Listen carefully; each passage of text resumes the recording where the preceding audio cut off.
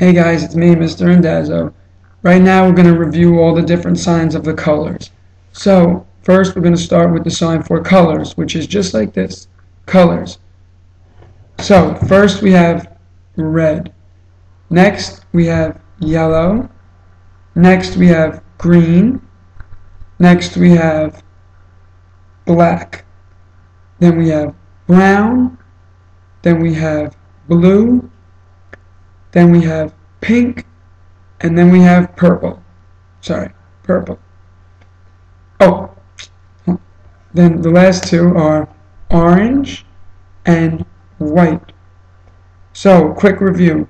Colors, red, yellow, green, blue, black, brown, purple, pink, white, orange, and that's it guys.